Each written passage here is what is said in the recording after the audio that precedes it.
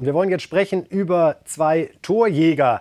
Leverkusen und Leipzig äh, sind die Vereine, wo wir sie verorten. Es geht um Chick und Silva und wollen doch am Anfang mal kurz auf die aktuelle Torjägerliste in der ersten Bundesliga schauen, damit man so ein bisschen das Gesamtpaket sieht. Ja, Lewandowski, wer hätte das gedacht, schickt sich gerade wieder an, irgendwo so zumindest Richtung 40 Toren zu tendieren.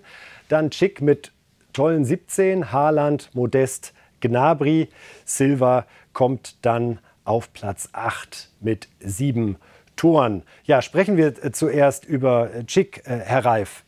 Der war, gehörte Rom, war dann mal an Leipzig ausgeliehen für ein Jahr, bevor Leverkusen zugeschlagen hat im Sommer 20. Rund 25 Millionen wurden bezahlt. Und der kommt jetzt richtig ins Rollen. Ja, der ist ja nicht neu auf der Bühne. Der ist ja, ist ja auch keine 18 mehr. Aber der hatte immer so, hatte der. der, der Europameisterschaft, erinnern wir uns, macht irre Tore, ist Stammspiel Nationalmannschaft, macht Riesenspiele. Bei Rom gab es mal so, dann gab es mal das. Bei Leipzig, ja, du dachtest, ja, aber hat er auch nicht alles abgerufen. Jetzt klickt irgendwie. Die Völler war von dem, der hat da sehr äh, gedrängt, den zu holen. das weiß ich bei Leverkusen. Und weil er gesagt hat, der kann alles. Der kann Fußball spielen. Und das hilft uns, weil wir sind nicht eine, die nur auf wir bei uns kontern wollen wir nicht nur, sondern mit dem kannst du alles machen. Und er macht die, die Tore. Also das ist ein gesuchter Spieler, wenn er das abruft, was er kann. Und das macht er zurzeit. Und er ist für Leverkusen eine Versicherung im Moment gerade wenn man erfolgreiche Stürmer in der Bundesliga hat, kommt immer irgendwann die Frage, wäre das auch einer für Bayern? Unabhängig davon, wie es mit Lewandowski weitergeht, von seiner Qualität, hat er auch das Zeug zum Bayern-Stammspieler oder wäre er klassisch einer, der ab und zu mal dazu stößt? Als, aber als Nummer eins dann. Also ja, ohne Lewandowski oder. Ohne Lewandowski. Oder ohne Lewandowski, ja. weil sonst brauchen wir nicht weiterreden. Ähm, ich glaube ja, ich glaube, dass er eine, nochmal, wenn er das abruft, was er kann, nachhaltig, dann ist er einer, mit dem du, mit dem du Fußball spielen kannst. Haaland zum Beispiel, da frage ich mich, ob das bei Bayern funktionieren würde, wenn du immer auf eine Abwehr zu, zurennst. Mit ihm kannst du viele Dinge machen. Wenn du ihn beobachtest im Spiel, der hält lange Bälle fest, festhalten. Meine Schwiegermutter sagt, wir dürfen die Bälle festhalten jetzt. Macht Bälle fest. Solange Sie nicht Box sagen, ist alles okay. So, genau, der macht Bälle in der Box fest, in der Box fest und und ist aber auch dann wieder ein typischer Daseiner. Also wenn da irgendwo was abprallt, ist der, ist der da. Also der hat ein großes Spektrum. Ja, das wäre einer. Den könnten Bayern genauso brauchen. Der äh, Schick hat getroffen jetzt beim 2-2 gegen Union. Leverkusen ist da vorne auch in diesem Kampf um die Champions League-Plätze mit drin. Wir haben gesehen, demnächst auch das Spiel gegen Dortmund. Ja, bei Silva, der in Frankfurt großartig aufgetrumpft hat und dann mit entsprechenden Erwartungen natürlich in Leipzig gelandet war, hat jetzt äh, zwei Tore erzielt beim 4 zu 1 gegen Mainz und äh, sein Trainer Tedesco hat ihn hinterher eingeordnet. Ja, wir erwarten wie von jedem Spieler, dass er, dass er arbeitet. Ne?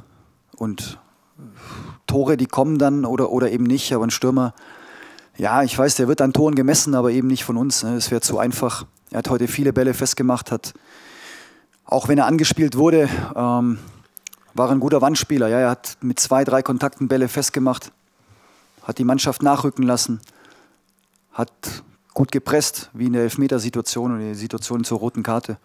Und er hat natürlich auch gute Mitspieler, die, die ihn heute ja auch sehr gut bedient haben. Ich glaube, Christo kam rein, hat drei Assists gegeben. Also es ist ja nicht immer nur der wichtig, der Tore macht. Mich freut es natürlich für, für André.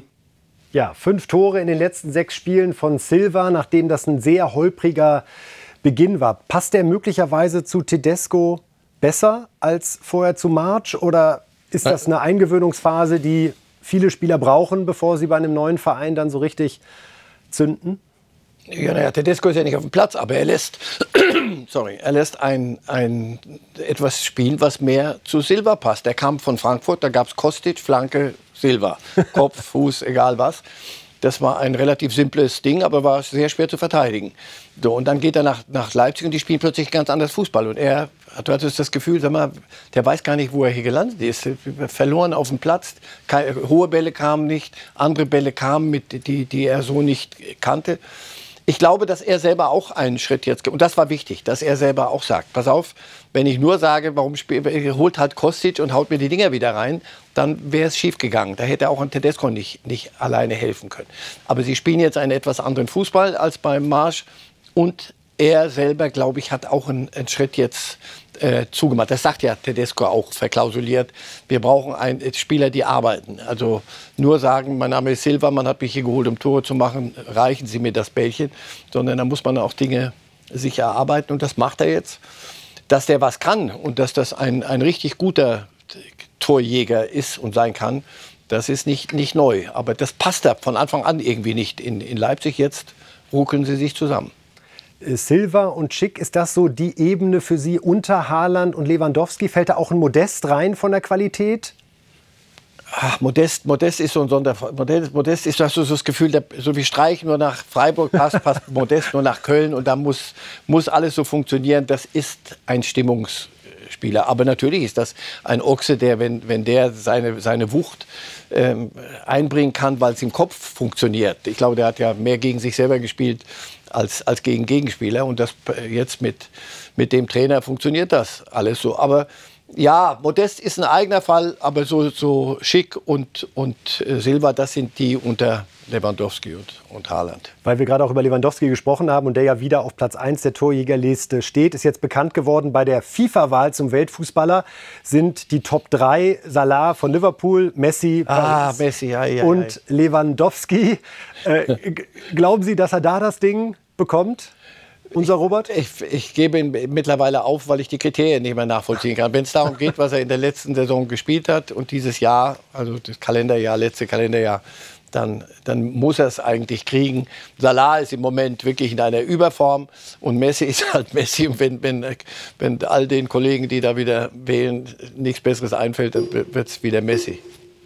Wir, Aber normal wäre es Lewandowski, ja. Wir werden das in Kürze erfahren. Die FIFA-Wahl zum Weltfußballer steht äh, in wenigen Wochen an.